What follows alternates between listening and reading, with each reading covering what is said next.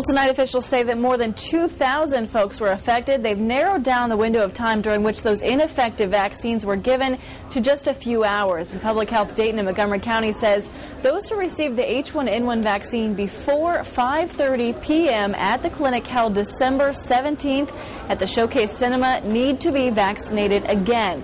Officials with public health discovered a few frozen vials during that clinic, which led them to believe that the first batch, again, those given before 5:30, had also been frozen, which renders them ineffective.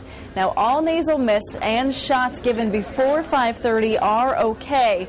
Officials stress this is not a safety issue, and the vaccines are were frozen at some point before public health got a hold of them.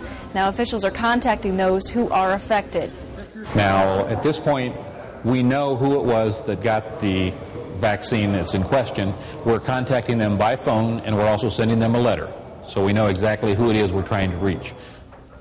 And Public Health Dayton Montgomery County is holding a revaccination clinic for those affected. That'll be held December 29th from 2 to 6 at the Showcase Cinema at Crosspoint Center in Centerville. Now, while the clinic was set up for those affected by this incident, the clinic will also be available to the general public. And public health officials say they still have the paperwork for those who were already vaccinated, so they say they should be able to get them in and out very quickly. Reporting live, Holly Samuels, 2 News on your side.